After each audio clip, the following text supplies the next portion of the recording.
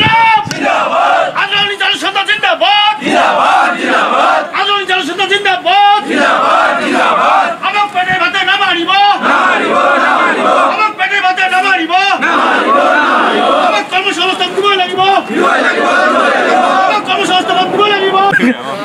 আৰু আমি ইয়াত দুই দুই হাজাৰ বাইছ চনৰ পৰা আমালোকৰ যিটো আদৰণি জনসংস্থা আমালোকক যিটো চলি থকাৰ অৱস্থাৰ পৰা আমালোকক আহ, মানে মানে অশেষ অন্তিম কৰি পেলোৱাৰ পিছৰ পৰা আমি গোটেই পৰা আমি ৰাস্তাত ৰাস্তাত পদূলিত আহিবলগীয়া হৈ গ'ল। এতিয়া আমি চৰ চৰকাৰৰ বিপক্ষে আমি ক'বলগীয়া হোৱাটোতো সেইটোৱে কথা যে বৰ্তমান আমালোকক যিটো অৱস্থা যে তিনিশ পঞ্চাছজন গৰাকীয়ে আমালোকৰ যিটো অৱস্থা হৈছিলে এই আমাক এই দৰিদ্ৰতা আমাক কেনেকুৱা পৰিয়ালখনৰ কেনেকুৱা স- সজাই ৰাখিব আমালোকৰ সেই সংস্থাপনখন লাগে। আৰু আমি ক'ব বিচাৰিছোঁ আৰু সকীয়াই দিবতো নিবিচাৰোঁ আমি মীমাংসা কৰিব আহিছিলোঁ যে এতিয়া শুনিলোঁ আমাৰ এতিয়া বৰ্তমান ছয় ছয় ছয়শমান এম্বুলেঞ্চ আহি গ'ল বুলি কৈছিলে।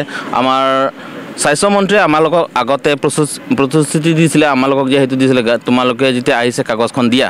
কাগজখন আমি মানে লিষ্টখন দিয়াৰ পিছৰ পৰা আমালোকক সেইটোৱে ক'লে যে তোমালোকক যেতিয়া গাড়ী অহাৰ লগে লগে তোমালোকক খবৰ দিম।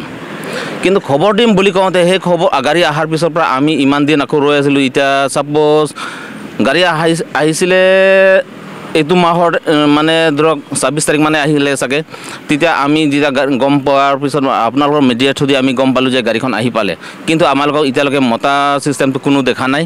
গতিকে আমি সেই হিচাপত আমি আগৰ পৰা আন- আন্দোলন কৰি আহি আছোঁ। এতিয়া আমি সেইটো বিচাৰিছিলোঁ যে আমাক সেই সংস্থাপন কেতিয়া দিয়ে। সেই নিদিয়া বাবদ নমতাৰ বাবতে আমি এতিয়া আম এই আপোনালোকৰ মিডিয়াৰ থ্ৰুদি আমি সেইটো যে জনাব বিচাৰিছোঁ যে আৰু বা সিহঁতক জগাই দিব বিচাৰিছোঁ যে কাৰণটো হৈছে আমাক এতিয়া যেতিয়া গাড়ী আহিছে যেতিয়া আমাক সোনকালে সংস্থাপনখন লাগে। যেতিয়া সংস্থাপনখন লাগে বুলি ক'লে আমাক কোনো লাইন পক্ষতো দেখা দিয়া হোৱা নাছিলে। গতিকে ইমান যে আমি কষ্টৰ বিভগত আমি গাড়ী অহাৰ লগে লগে এতিয়া আমি যে গোটেই পা ৰাস্তাত দলিত আকৌ সেই জেগাত আমি ধৰ্ণাস্থলীত আমি আহিব উপস্থিত হ'বলগীয়া হোৱা কাৰণটো হৈছে আমাক সোনকালে সংস্থাপনখন দিয়ক। আৰু যদি সংস্থাপন নিদিলে আমি যদি আমাক সেই দায়িত্ব যদি আমাক গতাই দিব নোৱাৰে কিন্তু আমি বেলেগ পক্ষতো যাব পাৰে। বৰ্তমান দুই হাজাৰ বাইছ চনৰ একত্ৰিছ ডিচেম্বৰৰ পৰা আমালোকৰ গাড়ীখন বন্ধ কৰি দিয়া হ'ল।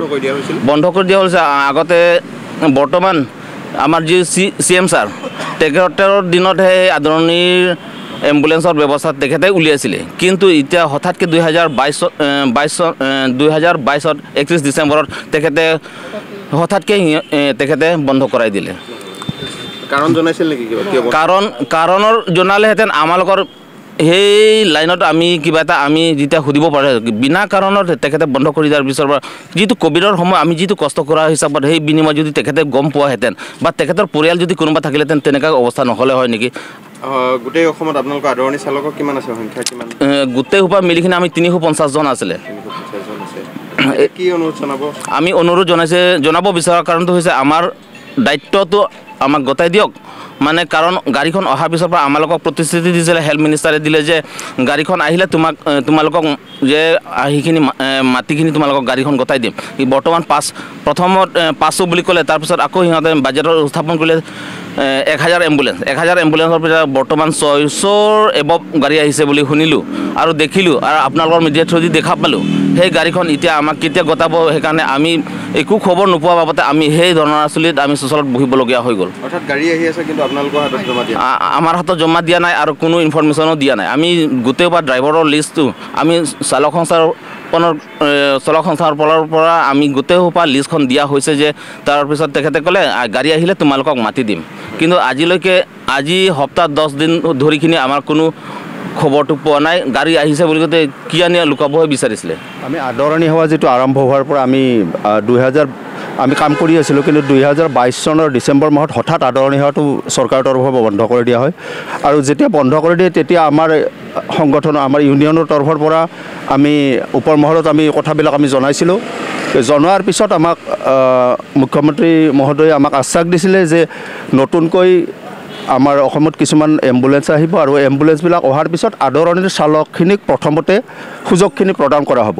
কিন্তু বৰ্তমান এম্বুলেঞ্চ প্ৰায় ছশৰ ওপৰত কিবা এম্বুলেঞ্চ আহি পাইছে কিন্তু আদৰণিৰ চালকসকলক কোনো তেওঁলোকে চৰকাৰৰ তৰফৰ পৰা কোনো যোগাযোগ কৰা নাই। নাইবা তেওঁলোকক মানে এই গাড়ীবিলাকত যে তেওঁলোকক এপইণ্টমেণ্ট দিব সেই বিষয়ে একো কথা উল্লেখ কৰা নাই। গতিকে আমি সকলোবিলাকে আমি হতাশ হৈ আমি পুনৰ আমি আন্দোলন এই ধৰ্ণাস্থলীলৈ আমি আহিবলৈ বাধ্য হৈছোঁ। গতিকে আমি এই মিডিয়াৰ থ্ৰুদি আমি মুখ্যমন্ত্ৰী মহোদয়ক এইখিনিয়ে জনাব বিচাৰোঁ যে তেওঁ যেন আমাৰ এই মানে আমাৰ চাওক এটা কথা কি আমাৰ আমি দুই হাজাৰ আমি প্ৰথমৰ পৰাই যেতিয়া আদৰ- আদৰণি সেৱাত আমি কাম কৰি আছিলোঁ যিটো সময়ত আমি কাম কৰি আছিলোঁ সেইখিনি সময়ত আমাৰ চাকৰিৰ আমি এপ্লাই কৰিবৰ বাবে আমাৰ আমাৰ বয়সটো আমাৰ ঠিকেই আছিল।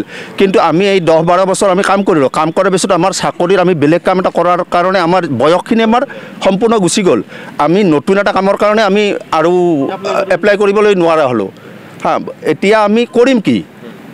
এতিয়া পঞ্চল্লিছ বছৰ বয়স হৈ যোৱাৰ পিছত এতিয়াতো আমাৰ আমাৰ এইখিনি মানুহৰতো আমাৰতো কোনো বেলেগ এটা চৰকাৰী কাম এটা কৰাৰ কোনো উপায় নাই। আৰু আমি বেলেগ কাম এটা কৰ এতিয়া আমি হঠাৎ গৈ আমি বেলেগ কাম এটা কৰি আৰম্ভ কৰিব নোৱাৰোঁ। সেইকাৰণে আমি মুখ্যমন্ত্ৰী মহোদয়ক এটা টানি অনুৰোধ জনাওঁ আমাৰ সংসাৰখনৰ পিনে তেওঁ এবাৰ চাওক আমাৰ পৰিয়ালৰ ফালে তেওঁ এবাৰ চাওক এইখিনি মোৰ ক'ব লগা।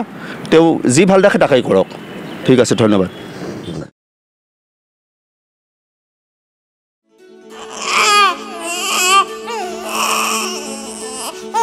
অভিনন্দন। আপোনাৰ এজনী ছোৱালী জন্ম হৈছে।